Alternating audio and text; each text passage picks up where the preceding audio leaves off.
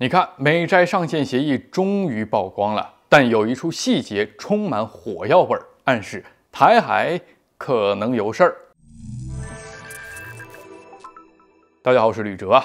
你看，数周紧张谈判之后啊，美国两党终于就这个提高债务上限达成了协议了啊，为这场很滑稽的双簧戏画上了句号。但是对中国来说，这场戏还没结束啊。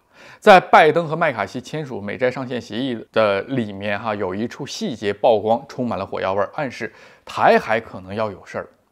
这部分协议内容是这样说的：说美国联邦债务上限提高年限两年啊，非国防支出在两年内保持接近持平，并在二零二五年将其提高百分之一，以避免在二零二四年美国总统大选之前出现任何一步不好的事情。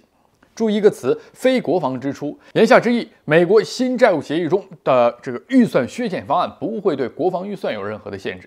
这也体现了美国两党在军费预算方面的一个强烈共识。哪怕美国发生这个债务危机啊，全球金融海啸了，美国的军费预算不能减。事实上呢，在美国债务危机面前啊，美国军费预算不仅没减，反增啊。在这份债务协议达成之前啊，美国2024财年国防预算是8850亿美元，而根据债务协议的内容，美国2024财年国防预算将提高到8863.49亿美元。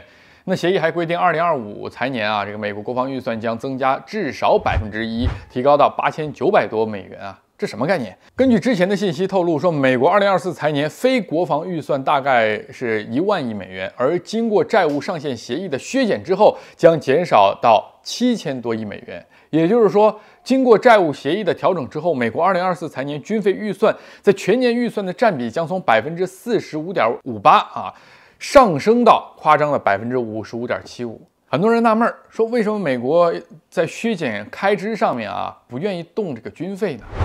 美国财长耶伦曾经说过啊，当我们的切身利益受到威胁时，会不惜牺牲经济代价。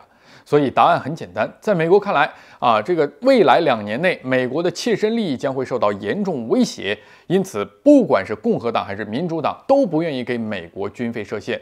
那么，谁能威胁到美国的切身利益呢？美国在哪里的切身利益会受到威胁呢？以美国那帮政客的流氓逻辑啊，要么是乌克兰，要么是台海。而从俄乌局势的现状来看，显然台海方面的问题更大。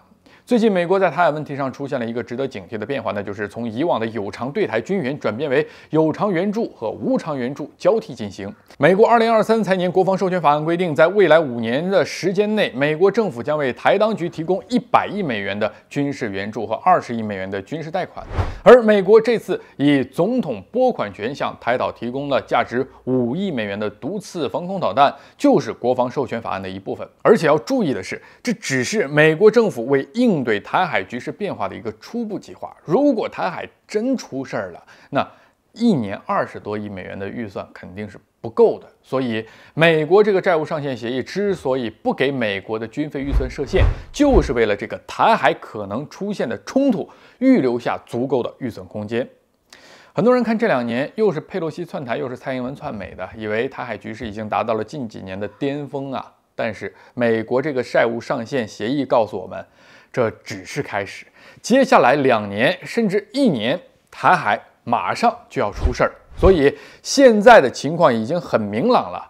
未来，即便是债务危机当前，美国都会在这两年台海可能出现的情况做好了准备。那既然如此，我们怎么可能松懈呢？好，今天吕州观察就是这样，下期再见。